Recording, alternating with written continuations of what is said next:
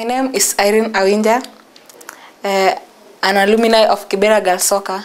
I do enjoy writing because this is the only way for me to share the world, my story with the other people around the world and for them to get to know what is going around here in Kibera. Yeah.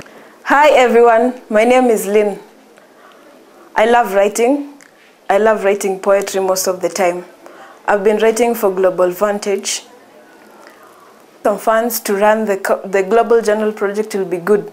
So many people will get to read the magazine all over the world and know what's happening in different parts of the world, especially in Kibera, in the US, and in China.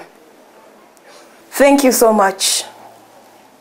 Hi people, my name is Asha Jafar, a former student of Kibera Girls Soccer Academy. I love writing and that's why I joined Global Vantage so as to let people know what is happening in Kibera. You write to them and they get to know what is happening here and what is affecting us. I also love seeing other people from other countries writing to the same same Global Vantage program and we get to read what is happening.